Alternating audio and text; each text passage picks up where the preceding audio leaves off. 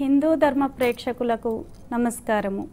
అష్టాంగ యోగా మార్గమునకు స్వాగతం. ఈరోజు అష్టాంగ యోగా మార్గంలోని ఏడవదైనటువంటి ధ్యాన యోగం గురించి తెలుసుకుందాం. సాధారణంగా మన మనసులు ఎల్లప్పుడూ కూడా చంచలత్వంతోనూ అశాంతితోనూ ఉంటాయి. అంటే మన మనస్సు ప్రతిక్షణం ఒక ఆలోచన నుండి మరొక ఆలోచనకు ఎగురుతూనే ఉంటుంది. అంటే ఒక కోరిక నుండి మరొక కోరిక తీర్చుకోవడం కోసం ప్రతి క్షణం కూడా పరిగెడుతూనే ఉంటుంది.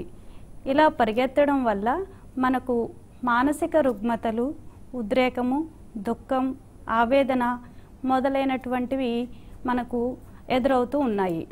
అయినా కానీ మనసు పరిగెత్తడం మాత్రం ఏ విధంగా కూడా ఆపడం లేదు. ఇలాంటి మానసిక రుగ్మతల నుండి మనం స్వాంతన చెందడానికి రక్షించుకోవడానికి యోగా అనేది చాలా ముఖ్యమైన పాత్రను వహిస్తుంది. ఈ పోటీ సమాజంలో జీవిస్తున్న అందరూ కూడా కాలంతో పాటు పరిగెడుతూ మానసిక ఆరోగ్యాన్ని శారీరక ఆరోగ్యాన్ని కోల్పోతున్నాము.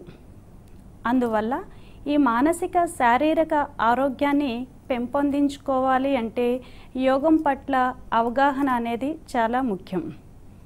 ఈ యోగం పట్ల అవగాహన అనేది తెలుసుకోవాలి అంటే అసలు యోగం అంటే ఏంటి? యోగంలో వివిధ రకాల దశలు ఉన్నాయి. అవి ఏంటో ముఖ్యంగా తెలుసుకోవాలి. ఉదాహరణకు వేల కిలోమీటర్ల ప్రయాణం కూడా తొలి అడుగుతోనే ప్రారంభం అవుతుందని లోకోక్తి. అదేవిధంగా ఒక చిన్న పిల్లవాడికి అక్షరాభ్యాసం చేయాలి అంటే ఒక పండితుడు పిల్లవాడిని ఒళ్ళో కూర్చోపెట్టుకొని ఒక పలక బలపం ఇచ్చి ఓం నమ శివాయ సిద్ధం నమః అని ఒక మంత్రాన్ని రాయించి దాన్ని నోటితో పలికించి ఆ తరువాత కానీ యాభై ఆరు అక్షరాలు వాటిని రాయించడం చదివించడం నేర్పించడం ఇది కాలక్రమేణా జరిగే ప్రక్రియ. అదేవిధంగా యోగంలోకి కూడా ప్రవేశం కావాలనుకున్న వాళ్ళు అసలు యోగం గురించి తెలుసుకోవాలి. దీని గురించి మనకు పతంజలి మహర్షి చక్కగా మూడు విషయాల గురించి వివరించారు. యోగం అనేది ముఖ్యంగా మొదటిది శరీరం గురించి మనస్సు గురించి సూచిస్తుంది. రెండవది బుద్ధికి ఆత్మకు సంబంధించినటువంటిది. మూడవది మూల సూత్ర మూల సత్యానికి సంబంధించినటువంటిది. ఈ పై మూడు విషయాలను పతంజలి మహర్షి చక్కగా వివరించారు. అయితే ఇందులో మనం ముఖ్యంగా ఈరోజు ధ్యాన యోగం గురించి తెలుసుకుంటున్నాము. మన భారతదేశంలో వివిధ రకాలైనటువంటి ధ్యాన మార్గాలు తయారవుతున్నాయి. ప్రపంచ దేశాలలో కూడా ధ్యాన మార్గాలు అనేవి ఉత్పన్నమవుతున్నాయి.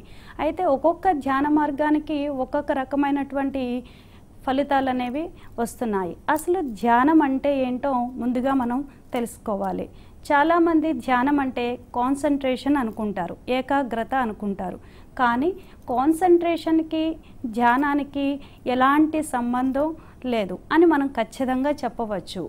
ఉదాహరణకు ప్రతి మనిషి కూడా ఉదయం లేచిన దగ్గర నుండి రాత్రి పడుకునేంత వరకు కూడా ఏదో ఒక కార్యక్రమాలను నిర్వహిస్తూనే ఉంటాం. సకల కర్మలు అంటే పనులను నిర్వహిస్తూనే ఉంటాము.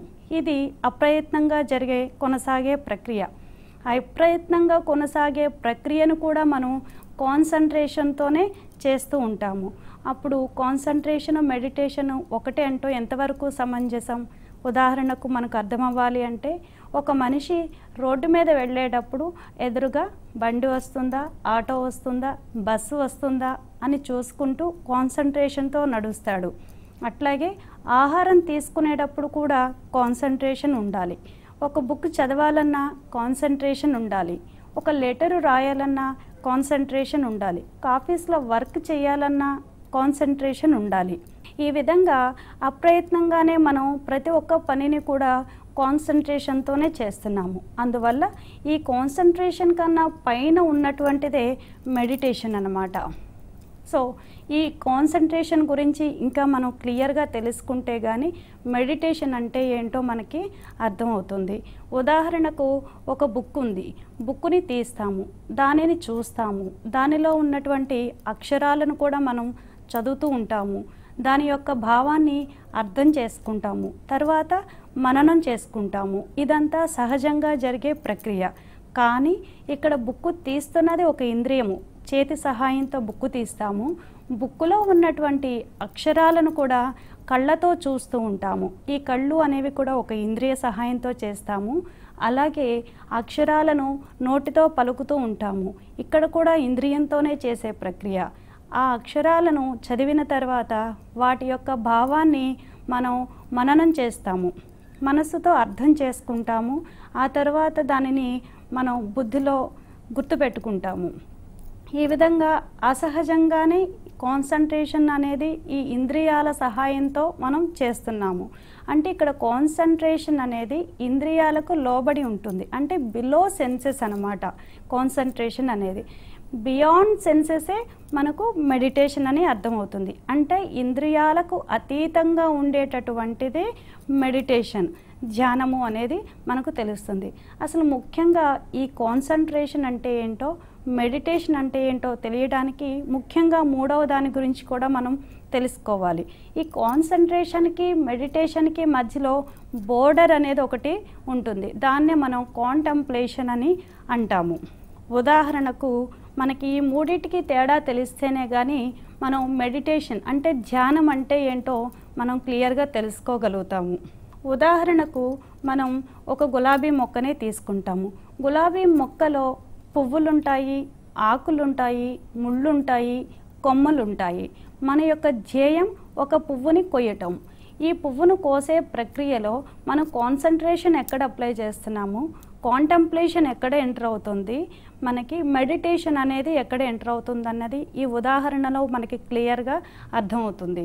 మనకి ముఖ్యమైన ధ్యేయం ఏంటంటే ఒక పుష్పాన్ని కోసి భగవంతుడికి సమర్పించే ప్రక్రియనే ధ్యానంగా భావిస్తాం ఇక్కడ.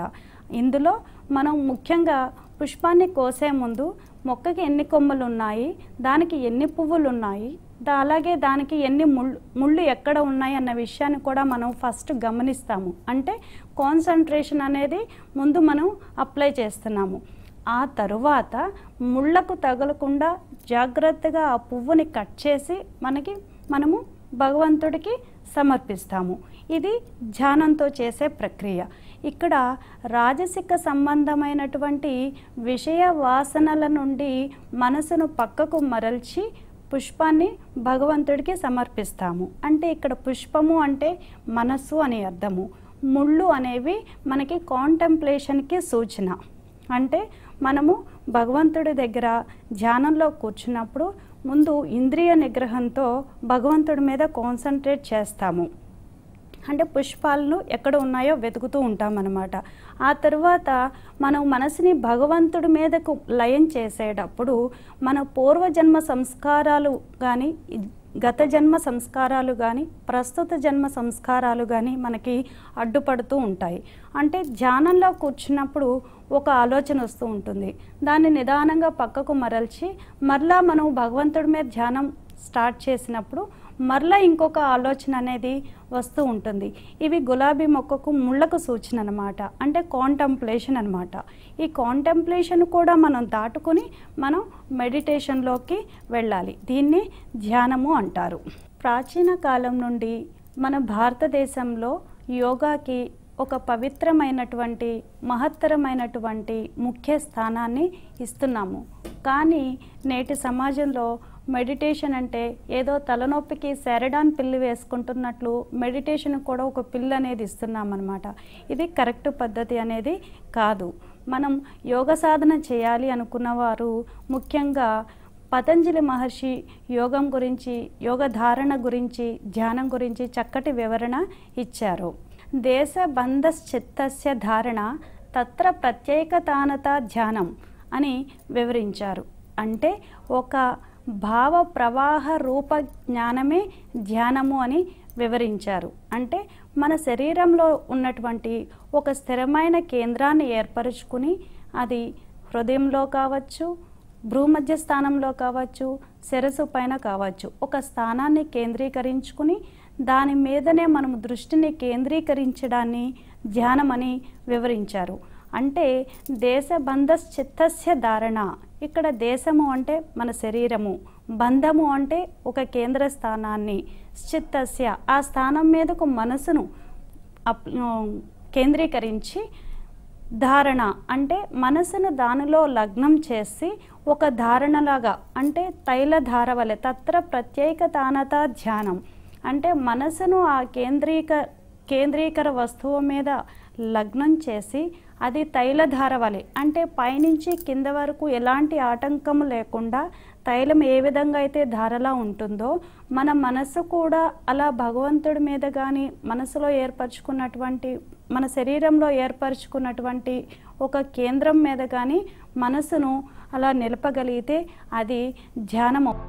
ఈ విధంగా మన మనసును ప్రాపంచిక విషయాల నుండి మరల్చి అంతర్ముఖం చేయాలి. దీనినే ప్రాచీన గ్రంథాలు అంతర్ముఖత్వం పొందడం అని అంటారు. దీనినే ప్రవృత్తి నివృత్తి మార్గాలు అని కూడా అంటారు. ఉదాహరణకు మన మనస్సును ఇంద్రియాలను ప్రాపంచిక విషయాల మీద దృష్టిని కేంద్రీకరిస్తే దాన్ని ప్రవృత్తి అంటారు. అదే మనస్సును ఇంద్రియాలను అంతర్ముఖం చేస్తే దానిని నివృత్తి అంటారు. ప్రవృత్తి మార్గం ద్వారా నివృత్తి మార్గాన్ని చేరుకోవడానికి ధ్యానం అనేది బాగా ఉపయోగపడుతుంది ఇక్కడ మనకు. దీనినే భగవద్గీతలో శ్రీకృష్ణ భగవానుడు బహిర్ముఖం చెందే మనసును అభిరమణము అంటారు. అలాగే అంతర్ముఖం చెందేటటువంటి మనసును ఉపరమణము అన్- అంటారు. భగవద్గీతలో శ్రీకృష్ణ భగవానుడు కూడా ఈ అభిరమణము గురించి ఉపరమణము గురించి చక్కగా వివరణ ఇచ్చారు. ప్రాపంచిక విషయాల మీదకి దృష్టి మళ్ళినప్పుడు దానిని అభిరమణము అంటారు. అంతేకాకుండా మనలో ఉండేటటువంటి ఆ వికర్షక శక్తిని ఆకర్షక శక్తిగా మార్చుకోవడానికి కూడా ధ్యానం అనేది బాగా ఉపయోగపడుతుంది. ఉదాహరణకు మనకు రమణ మహర్షి కానీ షిరిడి సాయిబాబా కానీ మనకు ఉదాహరణ. వీరు అంతర్ముఖ ధ్యానం చేయడం వల్ల వాళ్ళలో ఉన్నటువంటి వికర్షక శక్తిని ఆకర్షక శక్తిగా మార్చుకోవడం వల్ల వాళ్ళకు అనేక మంది ఆకర్షితులు అవుతున్నారు. అదేవిధంగా మనం కూడా ఈ బహిర్ముఖత్వం చెందకుండా మన మనసుని ఇంద్రియాలని అంతర్ముఖత్వం చేసుకోవడం వల్ల మనలో కూడా ఆకర్షక శక్తి అనేది పెరుగుతుంది. ఇలా పెంచుకోవడానికి కూడా ధ్యాన ప్రక్రియ అనేది బాగా ఉపయోగపడుతుంది. ఇప్పుడు మనం ధ్యానం అనేది ఎందుకు ఉపయోగపడుతుంది అన్న విషయాన్ని గమనించాము. ఇప్పుడు వెంటనే మనకి ధ్యానం ఎందుకు ఉపయోగపడుతుందో తెలియగానే ధ్యానం అసలు ఎలా చేయాలి? దేని మీద ధ్యానం చేయాలి? అనే ప్రశ్న ఉత్పన్నమవుతుంది. ధ్యానం యొక్క ఉపయోగం మనకు తెలిసిన తర్వాత ధ్యానం ఎందుకు చేయాలి అన్న విషయం మనకు అర్థమైన తర్వాత ధ్యానం అనేది దేని మీద చేయాలి అన్న ప్రశ్న ఉత్పన్నమవుతుంది. ఈ ధ్యానము అనేది మనము ముఖ్యంగా మన శరీరం మీద చేయాలి అని తెలుసుకున్నాం కదా. ఈ శరీరంలో ఏ విధంగా చేయాలి అంటే ముఖ్యంగా ముందు ఈ ప్రపంచం అనేది పంచభూతాలతో ఫైవ్ ఎలిమెంట్స్తో క్రియేట్ అయింది. అంటే భూతత్వము తర్వాత జలతత్వము తర్వాత అగ్నితత్వము తర్వాత వాయుతత్వము ఆ తర్వాత ఆకాశతత్వము. ఇట్లా ఐదు తత్వాలతో పడింది ఇదే ఐదు తత్వాలతో మన శరీరం కూడా ఏర్పడింది. అందువల్ల మన మనస్సు అనేది ఈ పంచభూతాలకు దాటి పైకి వెళ్ళలేదు అనేది ప్రకృతి సూత్రం అన్నమాట. అందువల్ల ఈ మనస్సుని మనము ఒక రూపం మీద కానీ ఒక నామం మీద కానీ ఒక తత్వం మీద కానీ దృష్టిని కేంద్రీకరించి చేసే ధ్యానము ముఖ్యమైనది. అయితే రూపం మీద చేసేటటువంటి ధ్యానం అంటే ఎదురుగా ఒక భగవంతుడి విగ్రహాన్ని కానీ ఒక ఇష్టమైన రూపాన్ని కానీ మనం ఏర్పాటు చేసుకుని ఆ రూపాన్ని తదేకంగా ధ్యానించడాన్ని రూపం మీద చేసే ధ్యానము అంటాము. ఇది చాలా అధమమైనటువంటి ధ్యానము. అంతేకాకుండా ఆ రూపానికి ఒక నామం అనేది ఉంటుంది. ఆ నామాన్ని మనం ధ్యానం చేయడం వల్ల అది అంటే మధ్యమ ధ్యానానికి సంబంధించినది. ఆ నామము అనేది మనకి ఆంతరంగికంగా జరుగుతూ ఉండే ప్రక్రియ అన్నమాట. అలాగే రూపం కాకుండా నామం కాకుండా ఆ పైన ఒకటి మూలతత్వం అనేది ఉంటుంది. అలా తత్వం మీద దృష్టిని కేంద్రీకరించి చేసేటటువంటి ధ్యానాన్ని మనము ఉత్తమమైన ధ్యానంగా పరిగణిస్తారు. ఈ ధ్యానాలు అనేవి ముఖ్యంగా రెండు రకాలు ఉంటాయి ఒకటి ఆధారంతో చేసే ధ్యానము రెండవది నిరాధారంతో చేసే ధ్యానము. ఆధారంతో చేసే ధ్యానాన్ని సాధార ధ్యానం అంటాము. నిరాధారంతో చే- ఆధారం లేకుండా చేసే ధ్యానాన్ని నిరాధార ధ్యానము అంటాము. ఉదాహరణకు సాధార ధ్యానం అంటే ఏంటో తెలుసుకుందాం. అంటే ఒక రూపం సహాయంతో కానీ ఒక నామం సహాయంతో కానీ ఒక మంత్రం సహాయంతో కానీ ఒక బీజాక్షర సహాయంతో కానీ ఒక తత్వం గురించి కానీ ఆలోచిస్తూ చేసేటటువంటి ధ్యానాన్ని సాధార ధ్యానము అంటాము. ఈ ధ్యానం చేసేటప్పుడు మనకి శరీరంలో మనకి మొత్తం ఆరు శక్తి కేంద్రాలు అనేవి ఉన్నాయి. ఈ శక్తి కేంద్రాలను మనం ఈ శక్తి కేంద్రాల మీద దృష్టిని కేంద్రీకరించి మనం ధ్యానం అనేది కొనసాగిస్తూ ఉంటాము. ఇది ధ్యాన పద్ధతుల్లో ఒక ముఖ్యమైనటువంటి పద్ధతి. ఇది గుదస్థానమైనటువంటి స్థానానికి పైన ఉండేటటువంటి భూతత్వానికి సూచించే మూలాధార చక్రం మీద కానీ ఆ పైన ఉండేటటువంటి జలతత్వానికి సంబంధించిన స్వాదిష్టాన చక్రం మీద కానీ ఆ పైన అగ్నితత్వాన్ని సూచించేటటువంటి మణిపూరక చక్రం మీద కానీ ఆ పైన హృదయ స్థానమైనటువంటి వాయుతత్వాన్ని సూచించే అనాహత చక్రం మీద కానీ ఆ పైన ఉండేటటువంటి మనకు వాయుతత్వాన్ని సూచించేటటువంటి విశుద్ధి చక్రం మీద కానీ ఆ పైన రెండు కనుబొమ్మల మధ్య శూన్యతత్వాన్ని సూచించే ఆజ్ఞాచక్రం మీద కానీ దృష్టిని కేంద్రీకరించి మనం ధ్యానం చేస్తూ ఉంటాము. ఈ ఆరు అనేవి మన శరీరంలో శక్తి కేంద్రాలు. ఈ ఆరు కూడా ఒక పద్మాకారంలో ఉండి అక్కడ శక్తి అనేది ఒక చక్రాకారంలో తిరుగుతూ ఉంటుంది. అందుకే వీటికి చక్రము అని పేరు కూడా వచ్చింది. వీటినే మనము షట్చక్రాలు అంటాము. ఒకటి మూలాధార చక్రము స్వాధిష్టాన చక్రము మణిపూరక చక్రము అనాహత చక్రము విశుద్ధి చక్రము ఆజ్ఞా చక్రము అలాగే ఏడవది సహస్రార చక్రము. ఇది ఉన్నతమైనటువంటిది. ఇలా చక్రాలను మనం ఆధారంగా చేసుకొని అక్కడ శక్తిని పెంపొందించుకొని చేసేటటువంటి ధ్యాన ప్రక్రియ. ఇక ఏడవది సహస్రార చక్రము. అది శిరస్సు పైన ఉంటుంది. దీన్ని తురియా ధ్యానము అంటాము. ఇంతవరకు కూడా మనము ఓ ఏదో ఒక శక్తి కేంద్రాన్ని ఆధారంగా చేసుకుని చేసేటటువంటి ధ్యానము. ఇంకొక రెండవది నిరాధార ధ్యానము. అంటే ఎలాంటి ఆధారము లేకుండా చేసేటువంటి ధ్యానము. ఈ నిరాధార ధ్యానము అనేది సహస్రారము కన్నా పైన ఉంటుంది. దానికి ఒక రూపం కానీ ఒక గుణము కానీ ఒక నామం కానీ ఏమీ ఉండదు. నిత్య సత్య వస్తువు అయినటువంటి దాని మీద మనసును లగ్నం చేసి చేసేటటువంటి ధ్యాన ప్రక్రియ. ఈ ధ్యాన ప్రక్రియ అనేది చాలా ఉత్తమమైనటువంటిది. ఇది మనం గురుముఖత నేర్చుకుని కొనసాగించవలసినటువంటి ధ్యాన ప్రక్రియ. ఇన్ని ధ్యాన పద్ధతులు అనేవి ఉన్నాయి. అసలు మనం ఈ ధ్యాన పద్ధతులని నేర్చుకో తెలుసుకున్న తర్వాత అసలు ధ్యానానికి మనము ఎలాంటి నియమ నిబంధనలు పాటించాలి? వాటికి ఉన్నటువంటి ఆచార వ్యవహారాలు ఏంటి? ఎన్ని రకాల ధ్యాన పద్ధతులు ఉన్నాయి ఏ ధ్యానం చేస్తే మనం ఎలాంటి ఉపయోగాన్ని పొందుతాము? అన్న విషయాల గురించి కూడా మనం ముఖ్యంగా గమనించాలి. ఉదాహరణకు మనం ధ్యానం చేయాలి అంటే ఒక నిశ్శబ్ద వాతావరణం ఉండాలి. అక్కడ పవిత్రమైనటువంటి వాతావరణం ఉండాలి. ఇది మనకు ప్రస్తుత సమాజంలో బయట ఎక్కడ దొరకనటువంటిది. అందువల్ల మనం ఇంట్లోనే ఒక గదిని ఏర్పాటు చేసుకోవాలి. ఆ గది ఎప్పుడు కూడా నిశ్శబ్దంగా ఉండాలి పవిత్రంగా ఉండాలి. అంటే గదిలోకి మనం ప్రవేశించగానే పాజిటివ్ వైబ్రేషన్స్ అనేవి రావాలి. అంటే మనసులో ఆలోచనలన్నీ తొలగిపోయి ధ్యానానికి సిద్ధమవుతున్నాను అన్న వైబ్రేషన్స్ అనేవి మనకు లోపల క్రియేట్ అవ్వాలన్నమాట. అలాంటి గదిని ఏర్పాటు చేసుకుని ముందుగా మనం ధ్యానానికి అక్కడ కూర్చున్నప్పుడు జన్మనిచ్చినటువంటి తల్లిదండ్రులకు నమస్కారం చేయాలి. ధ్యానం చేయటానికి కొన్ని నియమ నిబంధనలు ఆచార వ్యవహారాలు అనేవి పాటించాలి. అంటే మనము మంచిగా శుచిగా ఉండాలి స్థలము నిశ్శబ్ద వాతావరణం ఉండాలి. మన మనసు భగవంతుడి మీదనే లగ్నం చేయాలి. అలా చేయటానికి మనం భగవంతుడి దగ్గర కూర్చోగానే ఫస్ట్ మనం జన్మనిచ్చినటువంటి తల్లిదండ్రులకు ఫస్ట్ నమస్కారం చేసుకోవాలి. ఆ తరువాత ఇలా ధ్యానానికి మనకి సహకరిస్తున్నటువంటి గురువుకి నమస్కారం చేసుకోవాలి. ఆ తర్వాత మన మనసుని భగవంతుడి మీద లగ్నం చేయాలి. ఈ ధ్యానం అనేది మనం కూర్చుని చేయాలి అంటే ముందు మానసికంగా ఆరోగ్యంగా ఉండాలి శారీరకంగా కూడా మనం ఆరోగ్యంగా ఉండాలి. అందుకనే పతంజలి మహర్షి ఈ అష్టాంగ యోగ మార్గాన్ని మనకి ప్రవేశపెట్టారు. అంటే యమ నియమాలు పాటించాలి. అవి పాటిస్తే మన సమాజంలోనూ మనం ఇంట్లోనూ మన శారీరకంగానూ ఆరోగ్యంగా ఉన్నట్లు లెక్క. ఇది మనకి ధ్యానానికి ఎలాంటి ఆటంకం కూడా కలిగించకుండా మనం ముందుగానే క్రియేట్ చేసుకోవాలి పాజిటివ్ వాతావరణాన్ని.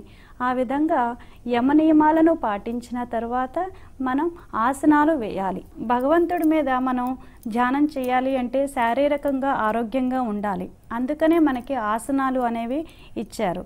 ఈ ఆసనాలు పాటించడం వల్ల శారీరకంగా ఆరోగ్యంగా ఉంటాము. ఆ తర్వాత మనసు ప్రశాంతంగా ఉండాలి. మనసు ప్రశాంతంగా ఉండటం కోసం మనకి ప్రాణాయామ ప్రక్రియను కూడా మనకి అష్టాంగ మార్గంలో వివరించారు. మనసు ప్రశాంతంగా ఉండాలి అంటే ముందు ఇంద్రియ నిగ్రహం ఉండాలి. ఈ ఇంద్రియ నిగ్రహం ఉండటం కోసం మనకి ప్రత్యాహారం అనేటటువంటి ఐదవ మార్గాన్ని కూడా సూచించారు. ఆ తర్వాత ధారణాశక్తిని పెంపొందించుకోవాలి. ధారణాశక్తి అంటే భగవంతుడి మీద ఎక్కువసేపు మనసును లగ్నం చేయగలగాలి. ఆ తర్వాత ఏడవదే ఈ ధ్యాన ప్రక్రియ. ఈ ధ్యాన ప్రక్రియలో మనం సక్సెస్ సాధించాలి అంటే ముందున్న ఈ ఆరు మార్గాలు కూడా మనము సక్సెస్ సాధించాలి. ఒక్కొక్క మెట్టు ఎక్కుతూ ఈ ఏడవదైన ధ్యాన మార్గానికి మనం చేరుకోవాలి. ఎన్ని ధ్యాన మార్గాలు ఉన్నప్పటికీ కానీ ప్రతి ఒక్క మనిషి యొక్క అల్టిమేట్ ఎయిమ్ అనేది సెల్ఫ్ రియలైజేషన్. అంటే ఎన్లైటన్మెంట్. ఈ జీవాత్మను పరమాత్మతో లయం చేయడం కోసం చేసేటటువంటి ప్రక్రియ. దానిలో ఈ ధ్యాన యోగం అనేది ఒకటి. ఈ అష్టాంగ యోగ మార్గంలో ఎనిమిదవది అయినటువంటి సమాధి స్థితి గురించి మనం రేపు తెలుసుకుందాం. నమస్కారం